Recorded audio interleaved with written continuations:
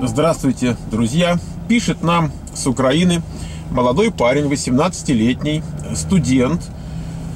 Учится он на э, факультете прикладной математики и хочет э, стать веб-программистом. То есть, казалось бы, все у парня классно, он на хорошем пути. Э, собственно, ну, только время, вот там какие-то, конечно, усилия нужно приложить, чтобы учиться, желательно хорошо учиться. Он еще хочет и в США тоже поехать поработать.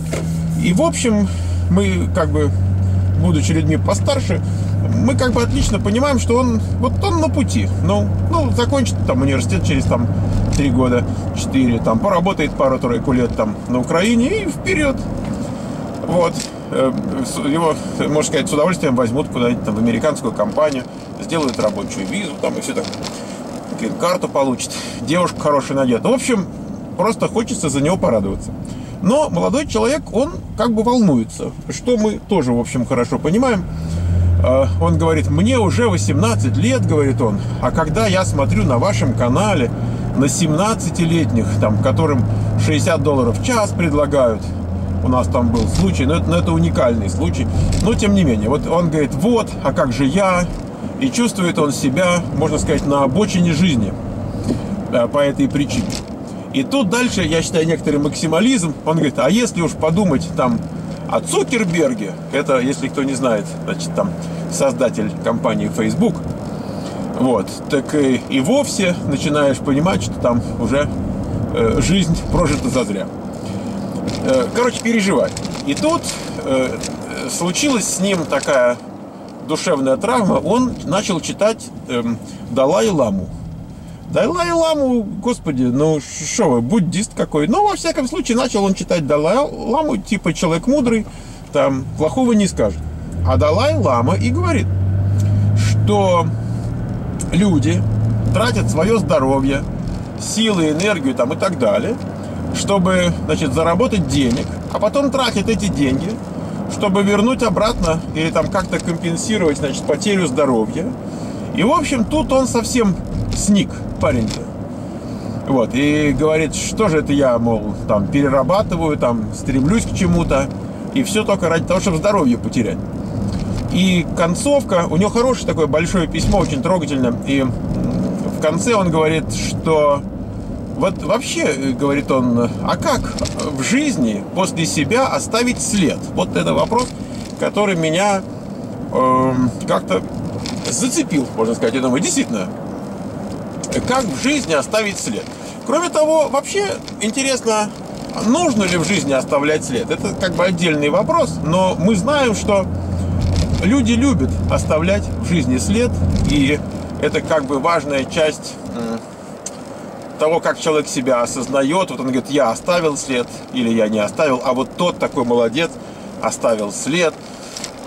Э, то есть как бы он повлиял на жизнь там большого количества людей и так далее.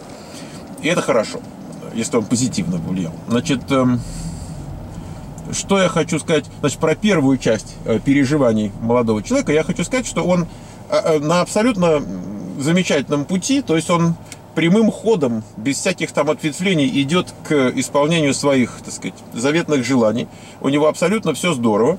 Если он еще начнет, или, может быть, начал где-нибудь там подрабатывать, part-time на каких-то реальных проектах, в каких-то вот компаниях, которые есть там, где он живет, это вообще будет здорово. То есть он свяжет академическую часть с такой производственный, и стаж пойдет, и он учиться по-другому будет, он себя будет по-другому воспринимать. Это вообще очень здорово, когда человек начинает за деньги работать в каком-то реально производительном таком коллективе, процессе. Это меняет людей в хорошем э, понимании. То есть я, я бы за эту часть совсем не переживал. Просто поскольку парень ответственный, он, он как бы ответственно переживает. Вот. Это хорошо. И, и то, что на пути хорошо, и то, что переживает хорошо. Что касается оставить след. Это очень э, индивидуальная штука, я, я вот так думаю, потому что мы все люди разные. И мы не, не можем судить других, нам себя, может быть, немножко легче судить, но и то, иногда я вижу люди, они к себе с такими сложными критериями подходят. Эм, след, который мы должны оставить или мы можем оставить, это скорее нам дано сверху. Вот способность оставить след нам дана сверху. И когда мы говорим там про э, там, кому многое дано, с того многое спросится, если человеку дано оставить хороший след, э, то это его жизненная функция оставить этот след. Если он будет от, от, от, отлынивать от, это, от этого, э, он просто сам себя угробит. И как бы э, э, многие люди об этом пишут и говорят, что нельзя, нельзя сочковать вот э, ту жизненную функцию, которая тебе дана, чтобы оставить этот след, да, нельзя от, от, отлынивать, надо делать. Нельзя ставить планки, нельзя ставить цели, которые ниже твоих способностей, потому что это одна из э, кратчайших таких дорог к, к саморазрушению. Надо высокие планки ставить. Так вот, оставить след, это не значит, что ты должен смотреть на других людей. Вот, скажем, Цукерберг оставил вот такой след. Или оставит, э, вот, то есть он уже оставил, надо полагать, ну еще оставит, дай бог, здоровье парень молодой. Значит, э, у него свой след в жизни. Ну, ну хорошо, у него свой. А вот, допустим, мать там воспитала двух замечательных детей. Вот у нее такой след в жизни. У меня сейчас есть женщина, ей немножко за 50. И она, ну, учится, в смысле, не у меня лично женщина, а женщина в школе учится. И у нее ребенок один всего, и она родила его, в общем-то, так, ну, не, не в 20, там, 2, а ей уже было там ближе к сороковнику. И вот этот мальчик там у нее замечательный, гениальный, и вся ее жизнь в этом мальчике.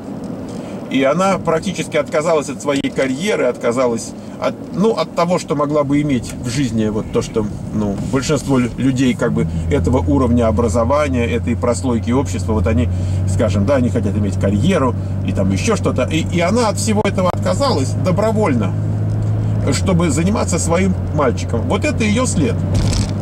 И сказать, что ее след менее значителен, чем, допустим, след, оставленный там Цукербергом или там Биллом Гейтсом, я не могу так сказать. Я, я искренне, честно, я, э, я не знаю, что, что важнее. Понимаете? И на самом деле каждый из них выполнял свою какую-то функцию, данную им по жизни. Если они счастливы, если они чувствуют себя э, самореализованными, да, выполнившими эту функцию. Это и есть счастье. Это абсолютно счастливые люди. Вот я, я надеюсь, что Билл Гейтс счастливый человек. Я, я не знаю, может быть, он переживает, что ему что-то должен был сделать, не сделал. Вот. Но, во всяком случае, эта женщина, она абсолютно счастливый человек в том смысле, что она вот самореализовалась в своих детях.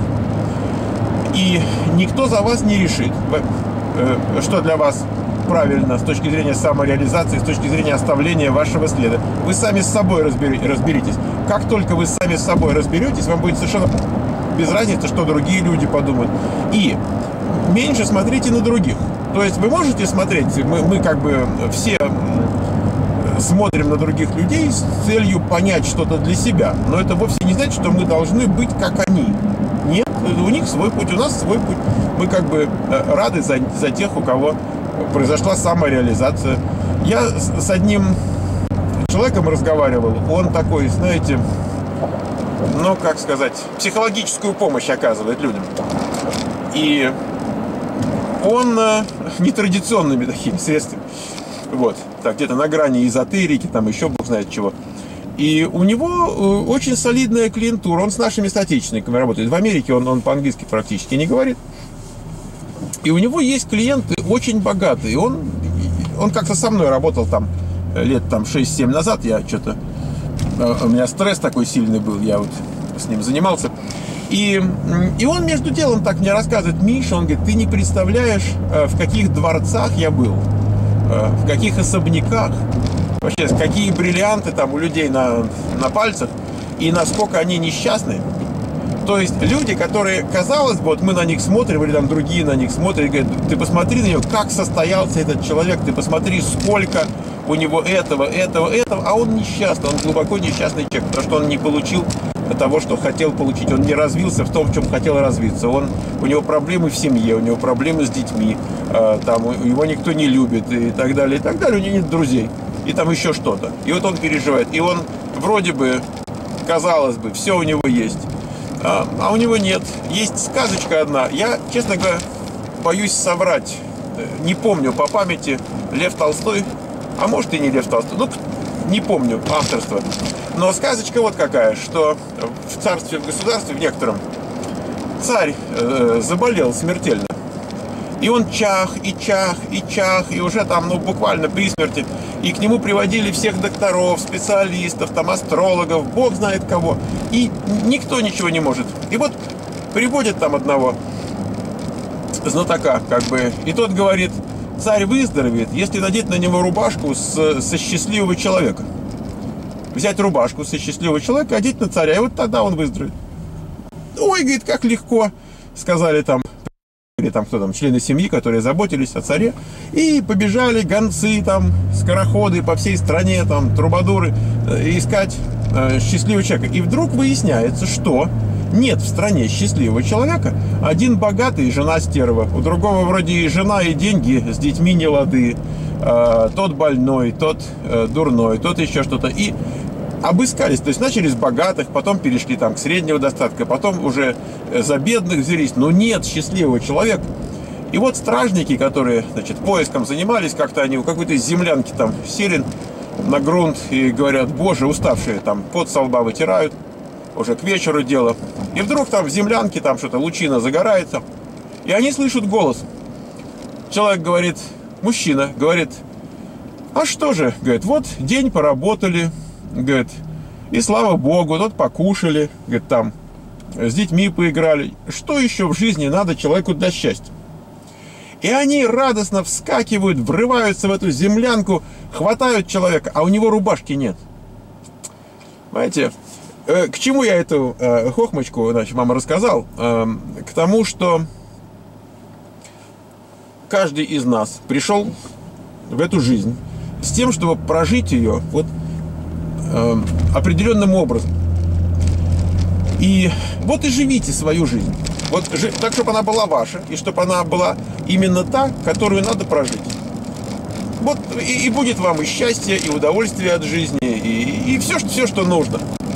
Вот. А Далай-Лама, если бы он, вот, например, то же самое в 18 лет говорил, мы не знаем, как он рассуждал в 18 лет. Вот когда ему там, может, там 90, я не знаю, сколько ему на самом деле, вот, он одно скажет, а 18 он бы сказал другое. Поэтому вам сегодня 18, вот, и вы рассуждаете так, как положено 18.